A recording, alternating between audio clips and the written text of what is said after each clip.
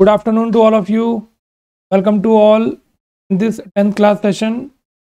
हम लोग 13 चैप्टर पर चल रहे हैं और हमने 13.1 और 2 के एग्जाम्पल्स समेत दोनों एक्सरसाइज कंप्लीट कर ली ठीक है आज हम लोग 13.3 एक्सरसाइज स्टार्ट करेंगे स्टार्ट द एक्सरसाइज 13. एक फिगर को दूसरी फिगर में कन्वर्ट करने पर हमेशा वॉल्यूम आपस में इक्वल होता है, क्योंकि एरिया सेम नहीं हो सकता क्योंकि दोनों का शेप अलग अलग है। तो जैसे मैं आपको एक छोटा सा एग्जांपल आपने एक के अंदर एक वाटर को भरा वाटर भरा और उसको आपने ट्रांसफ़र कर दिया किसमें एक कोनिकल वेजल में। तो पानी की शेप बदल गई, लेकिन पानी की क्वान्टिटी क्वांटिटी कोई फ़र्क नहीं पड़ा। जितना पानी की क्वांटिटी सिलेंडर में थी ही पानी की क्वांटिटी कोन में आ तो क्या सेम होगा? वॉल्यूम दोनों का सेम एरिया तो सेम हो ही नहीं सकता क्योंकि दोनों आइए क्वेश्चन नंबर वन को स्टार्ट करते हैं। देखते हैं क्वेश्चन नंबर वन के अंदर क्या लिखा हुआ a metallic sphere of radius 4.2 centimetre melted and recast into the shape of cylinder दो चीज़ें हैं, एक स्पेयर और एक सिलेंडर सबसे पहले यहाँ पर हेडिंग यहाँ पर हेडिंग डाल। स्पेयर का रेडियस और सिलेंडर का रेडियस और सिलेंडर की हाइट ये सिंबल अलग अलग होंगे क्योंकि दो अलग अलग फिगर आपके पास हैं। स्पेयर का रेडियस है 4.2 सेंटीमीटर और सिलेंडर का रेडियस है क्वेश्चन में सेंटीमीटर। आपको सिलेंडर की हाइट निकाल मैं स्टेटमेंट लिखूँगा। Since metallic sphere is melted and recast into the shape of cylinder आपको एग्जामिनर को ये बात बतानी पड़ेगी कि आपने किस फिगर को किस फिगर में कन्वर्ट किया। तो बुक में लिखा हुआ है कि स्पेयर को मेल्ट करके सिलेंडर बना दिया। Therefore volume of sphere equal volume of cylinder. ये बात ध्यान रखनी है कि जब भी हम एक फिगर को दूसरी फिगर में कन्वर्ट करेंगे तो दोनों के वॉल्यूम हमेशा आपस में कैसे होंगे? इक्वल होंगे। चलिए स्पेयर का वॉल्यूम का फॉर्मूला लिखते हैं। Four upon three pi r cube. Symbol हमने लिया हुआ है स्मॉल। और यहाँ होता है सिलेंडर का formula pi capital r square h. दोनों के रेडियस का सिंबल हमने अलग ठीक है? दोनों तरफ़ पाई से पाई कैंसिल हो गया। अब मैं वैल्यू पुट कर रहा हूँ फोर अपॉन थ्री इसका रेडियस मेरे पास है four point two multiply four point two multiply और इसका रेडियस है सिक्स इंटू सिक्स और इंटू कितना? अब कैलकुलेशन को कैसे करेंगे? फोर अपॉन थ्री मल्टीप्लाई तीन बार फोर पॉइंट टू क्योंकि 4.2 इसका रेडियस है। ध्यान रखना डायमीटर ना हो, कहीं आपने कन्वर्ट ना किया। ये दोनों सिक्स नीचे आ गए। और यहाँ बच गया आपके पास। चलिए सॉल्व करना शुरू करते हैं। ये कट के 1.4 आ गया और सिक्स का टेबल 4.2 चलाया पॉइंट सेवन फिर से सिक्स का टेबल चलाया पॉइंट सेवन ठीक है?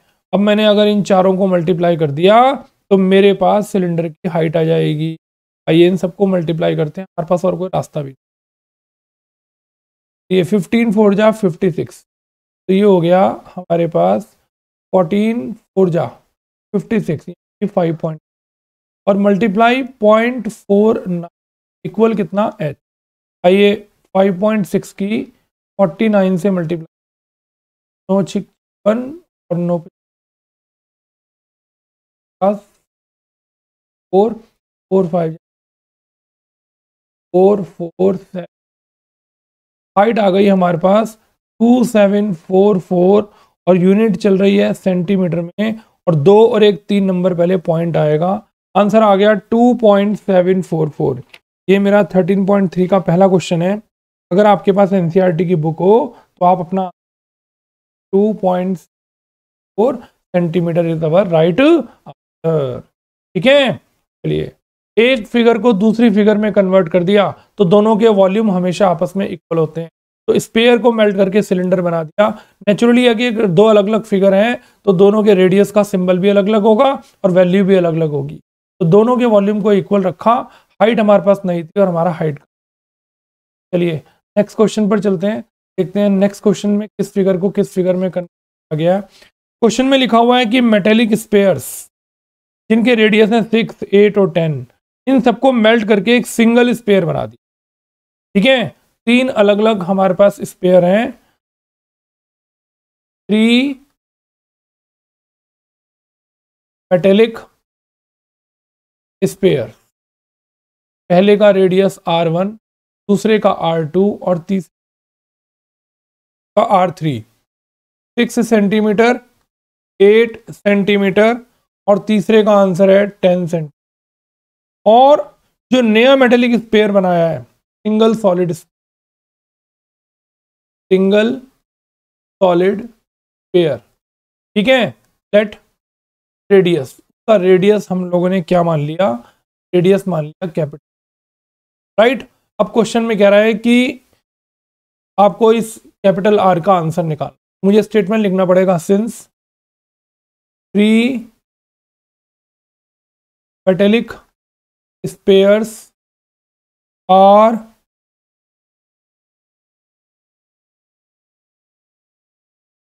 melted to form a single sphere. Therefore,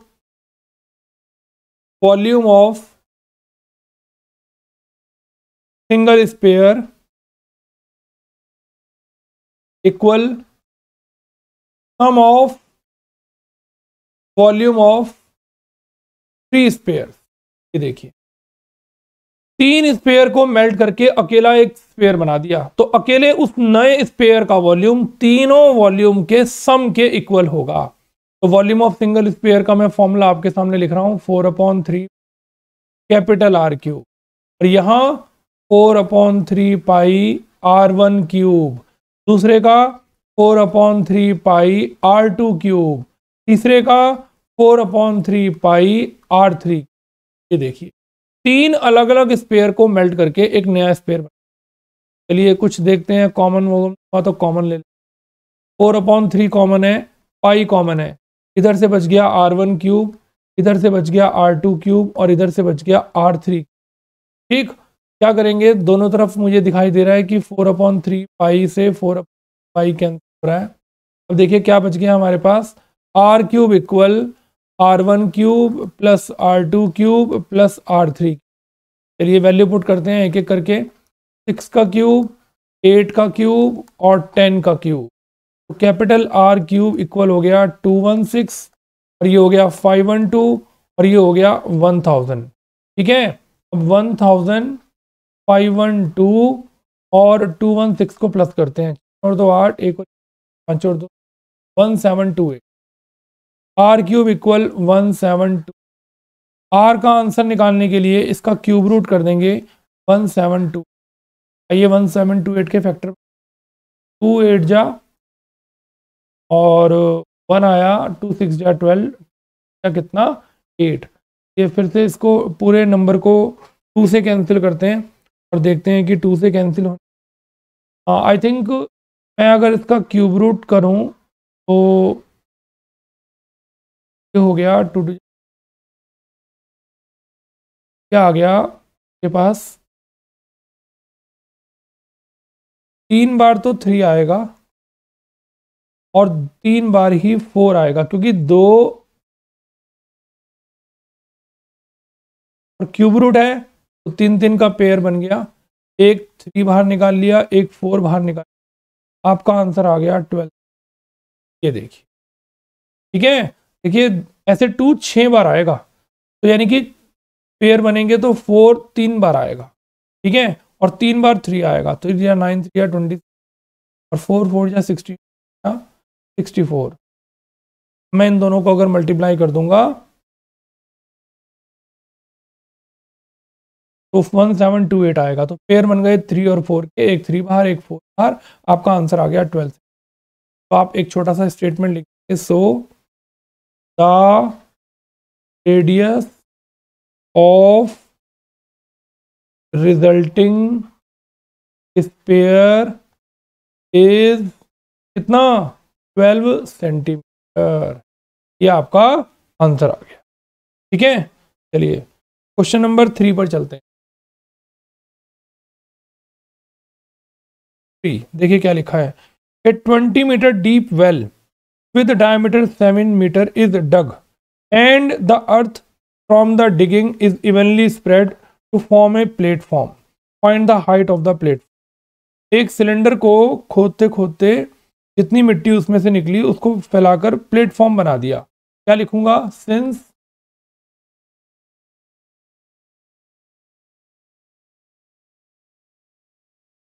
cylindrical well is dug and earth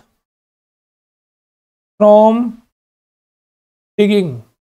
खोद के जो मिट्टी निकली is evenly spread to form a platform तो volume of cylindrical well equals volume of platform ठीक है? बताइए सिलिंड्रिकल वेल का फॉर्मूला क्या होता है? पाई आर स्क्वायर एच और प्लेटफॉर्म क्यूबॉइड की फॉर्म में है तो एल इंटू बी इंटू या कैपिटल है पाई की कोई वैल्यू गिवन नहीं है twenty two upon seven radius question के अंदर चेक करते हैं कितना है?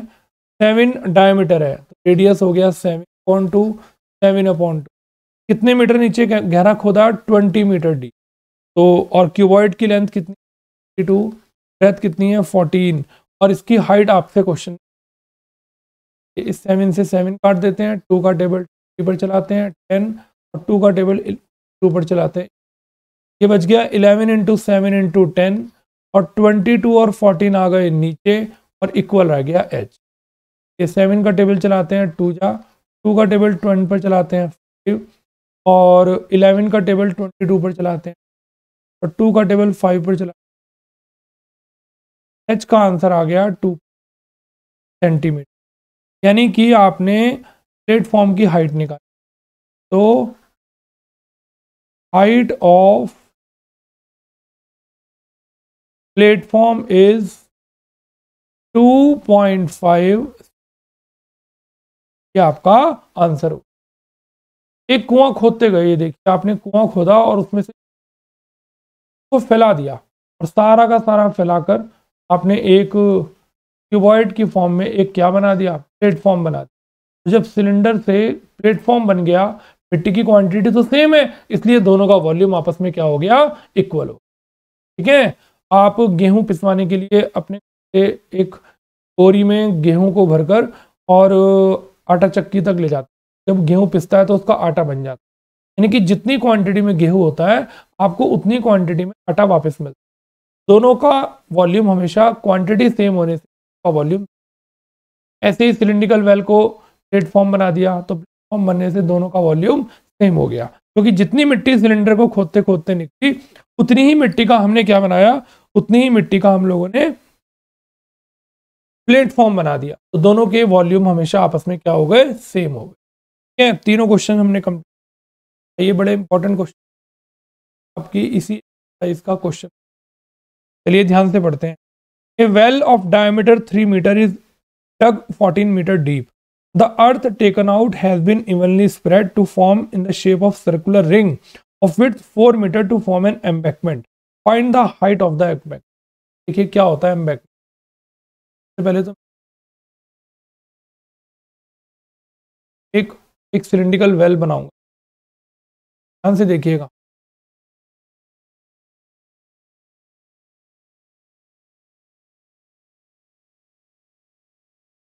ये मैं आपके साथ वेल बना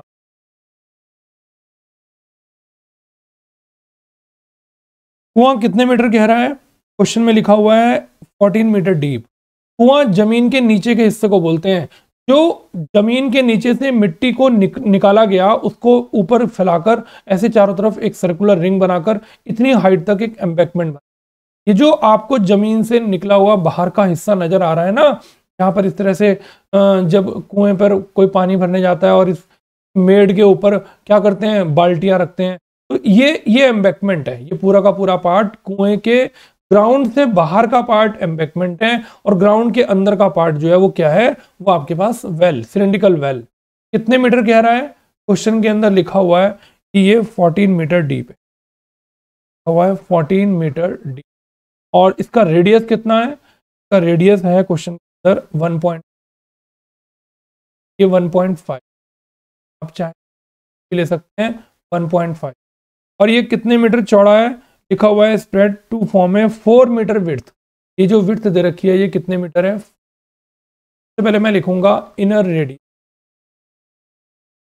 inner radius bracket में स्मॉल आर क्या करूँगा? थ्री को टू से डिवाइड किया वन पॉइंट फाइव अब मैं लिखूँगा width of embankment width of question के अंदर एम्बैंकमेंट एम्बैकमेंट को हिंदी में चबूतरा देखो, वो चबूतरे के ऊपर बैठा हुआ है। चबूतरा, यानी कि ज़मीन के बाहर का कुएँ का हिस्सा चबूतरा कहलाता है, यानी कि एम्बैकमेंट और नीचे के हिस्से को कुआँ बोलते हैं सिंडिकल वेल बोलते हैं।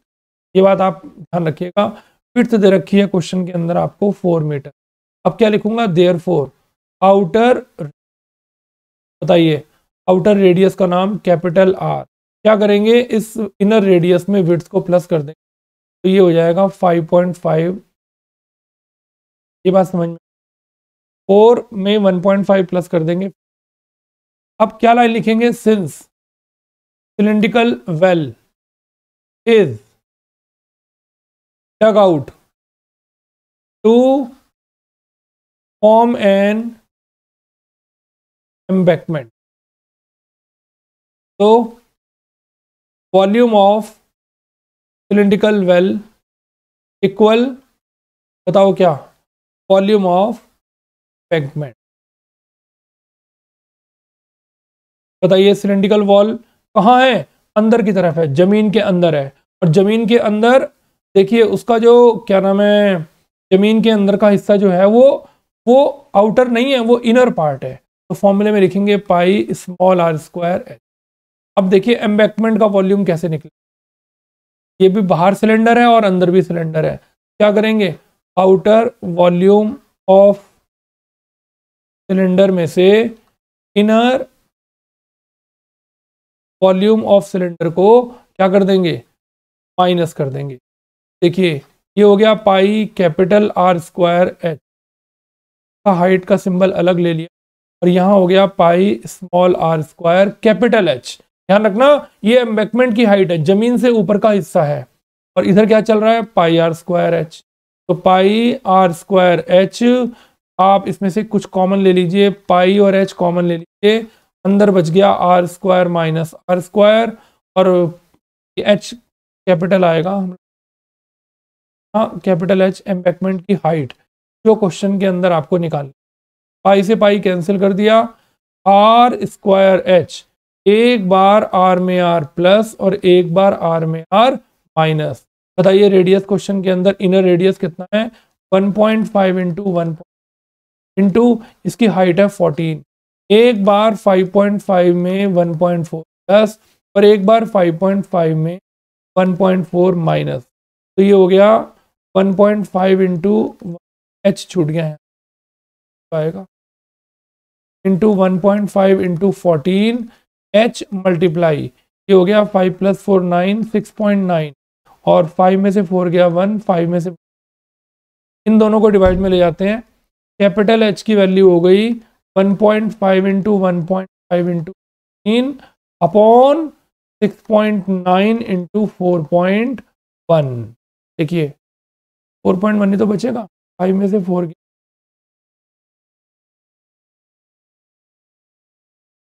फाइव पॉइंट फाइव और one point four, five point five में वन पॉइंट फोर प्लस करेंगे सॉरी वन पॉइंट फोर नहीं गलत हो 1.4 इन यहाँ हमने गलत लिख दिया। 5.5 में 1.5 प्लस और 5.5 में से 0.5 माइनस चलिए, ये हो गया पाँच और एक छः, सात और इन दोनों को माइनस करें तो तो इसको ठीक करके लिख दे। यहाँ डिवाइड में क्या आ गया? डिवाइड में आ गया सेवन इंटू कितना? फोर ठीक है? और ये फोर्टीन है। ये डिवाइड करते हैं। सेवन टू जा फोर्टीन टू टू जा फोर और हाइट हो गई टू पॉइंट फाइव इन दोनों को मल्टीप्लाई करके पॉइंट टू ये डिवाइड करते हैं। टू वन जा टू वन जा टू फोर टू फाइव जा ये आपका आंसर आ आप चाहें तो अपनी बुक से इस को चेक कर सकते हैं। आपका आंसर आ रहा है वन पॉइंट वन टू या आपने एम्बैकमेंट की हाइट निकाल। बड़ा आराम से ध्यान से क्वेश्चन को समझिए। ये ये दो सिलेंडर बने हुए हैं, दो सिलेंडर ऊपर सर्कुलर बेस बना। ठीक है? अगर मैं, मिट्टी कहाँ है? ये जो हमने इसमें से सारी मिट्टी निकाली, कहाँ रख दी? ये।